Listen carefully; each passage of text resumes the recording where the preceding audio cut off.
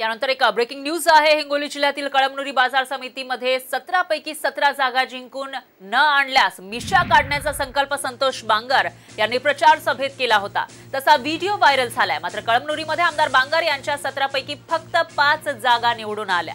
त्यामुळे आता ठाकरे गटाच्या अयोध्या पोळ यांनी बांगर यांना मिशा काढण्याचं आवाहा- आव्हान दिलेलं आहे. त्यासाठी मिशा काढण्याचं साहित्य त्यांनी बांगर यांना पाठवलं आहे. संतोष बांगर यांनी सतरापैकी सतरा जागा जिंकून आणल्या नाही तर मिशा कापू असं सांगितलेलं होतं निवडणूक प्रचारावेळी. आणि त्याचीच आठवण ठाकरे गटाच्या ज्या नेत्या आहेत अयोध्या पोळ यांनी बांगर यांना करून दिल्याची माहिती आहे. त्यामुळे आता बांगर यांच्याकडून याच्यावर काय प्रतिक्रिया येते ते पाहावं लागेल.